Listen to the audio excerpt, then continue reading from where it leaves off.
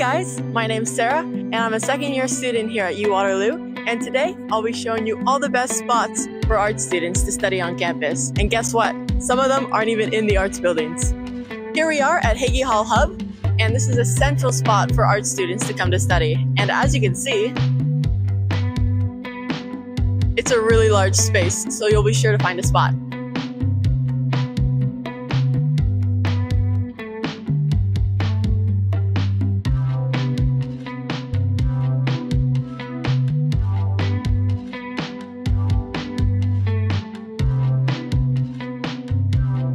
And if you need to work on a group project, check out the project cube on the second floor.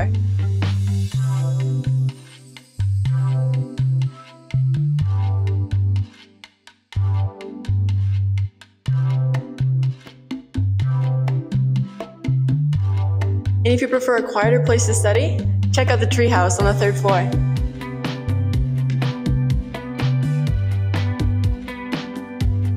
Remember when I said that some of the spots aren't in the arts buildings? Well, here we are in EV3, which might not be an arts building, but it's a spot nearby that we really like to use.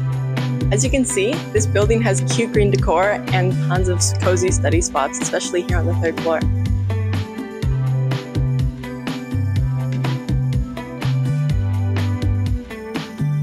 Here's another great spot uh, in between EV1 and EV3 on the second floor.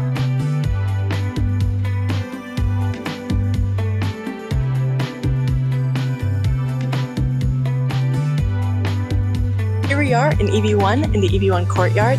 This spot is perfect if you love the outdoors and you love nature, but you just don't want to go outside.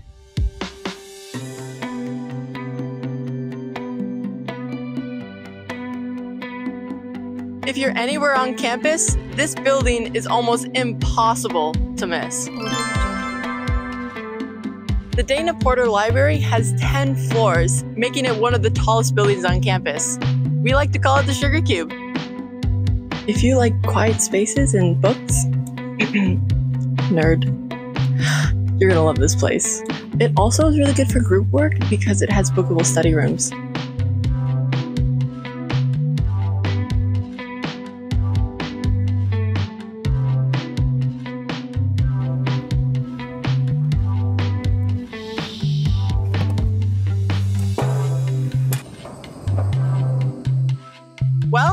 That's it for me today.